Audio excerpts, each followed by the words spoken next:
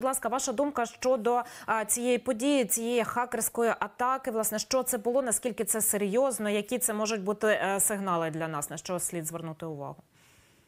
Вітаю студію.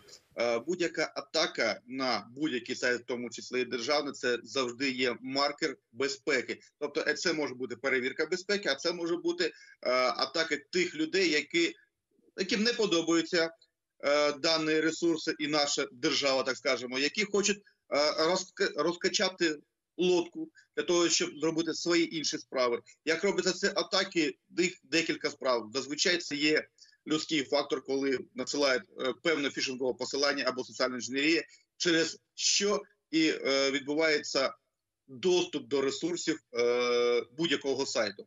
І в даному разі для держави, для володарів сайту, то приватний, то державний, не суттєво є дуже величезний маркет для посилення безпеки сайтів, для посилення безпеки витоку інформації, щоб цього не було. Наразі триває слідство, наскільки я знаю, щоб перевірити, що це було. Це була така забавка-перевірка або дійсно атака, яка була спрямована на порушення деяких сайтів та витоку інформації. До речі, пане Руслане, кажуть про те, що а, дані персональні. Не були втрачені, витоку не було. А наскільки можна сказати, що це така переконлива зараз інформація, чи все ж таки могли щось в нас вкрасти? Ну, давай, давайте просто банально е, спам'ятаємо, скільки часу потрібно перекачати певну кількість інформації з пункту А в пункт Б. Е, представте собі, скільки інформації зберігається на таких ресурсах. Це терабайти інформації, безліч. Тобто, це не одна година повинна бути безперервного доступу до сайту, щоб був дійсно величезний виток інформації. В такому разі коли одразу це е, сталося, і як це відбувалося, нам повідомити. Ми подивимося, скільки було часу на це, і як це відбувалося. Повірте, якщо хочуть е, зробити виток інформації, ви не будете знати про те, що був якийсь доступ. В даному випадку там було посилання, хтось пошуткував, так скажемо, е- показав, що це атака, що це можливо, що є у- е, уразнення вашого сайту. А якщо хочуть дійсно зробити виток інформації, то це робиться так тихенько, що ніхто про це казати не буде, і ви ніколи не дізнаєтесь, що був такий виток. Ну, от бачите, щодо а, сайту, зокрема, а, дія, то те, що ліг, в тому числі і він, то от кажуть про це про те, що це а, може бути через те, що туди було а, ну, запущено, не знаю, як це сказати правильно, сторонній код. А, це що значить? Наскільки це небезпечно?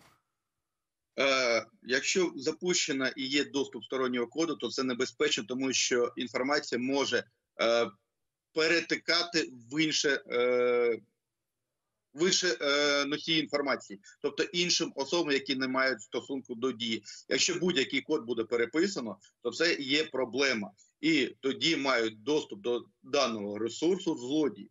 Це завжди є. І тому люди, які розробляють, повинні повністю перевіряти е, код безпеки, повністю перевіряти весь сайт. Це їхня прерогатива, і вони повинні це зробити. Але ми не забуваємо, не забуваємо про те, що банальна інсайдерська інформація, коли людський фактор, що частіше за все виток інформації йде від людини, тобто сидить людина, в якого є доступ, його, наприклад, там звільнили. Що він робить? Він забирає інформацію, йде і продає. Все від цього застрахуватися практично неможливо. І на це більше потрібно звертати увагу, але безпека ресурсів, щоб вона була захищена, і люди були захищені. Це прерогатива перша на даному разі, якщо ми цей продукт вже даємо людям на користування. А пане Руслане, ну щодо дії, так то а, дуже всі тут занепокоєні, бо а, є додаток дії, де зберігається дуже багато документів а, в українців. Атака на сайт дія вона ставить під загрозу а, ці документи і доступ до них. Е, ні, Е, те, що у вас знаходиться в додатку, у вас немає доступу до е, повної інформації, яка знаходиться фізично не в вашому телефоні. Вона знаходиться на носіях безпосередньо у розпорядника даної інформації. Тому через вас девайс достучатися до будь-якої іншої інформації неможливо, окрім особисто вашої. Тому в даному випадку кожен громадянин повинен просто захистити свій девайс і зробити все можливе, щоб він не потрапив до інших людей, тобто поставити паролі, двохетапну аутентифікацію і таке інше.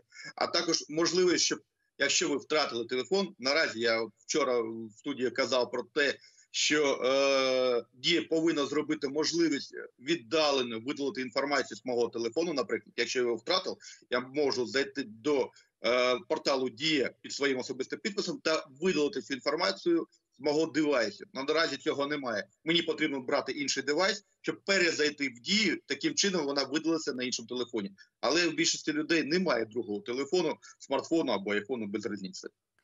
А пане Руслане, ну натомість, наскільки тоді можна захистити державні сайти від подібних втручань? Якщо людина може свій девайс захистити шляхом паролю чи е, е, цієї, верифікації, то державні сайти як можуть захиститися від подібних атак? Е, Тому так, захист майже той самий, тільки в більш глобальному масштабі.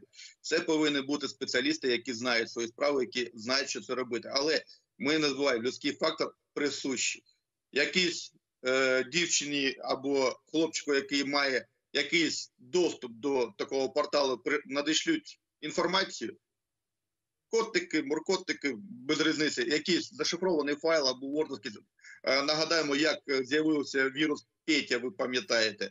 Просто люди відкрили файл і уразили свій особистий комп'ютер, який має доступ е, до програмного забезпечення. І перепрошивається код, пароль, і починаються отакі от негарні речі. Тому це лише фаховий спеціаліст, який має доступ. Він повинен бути дійсно професіоналом своєї справи.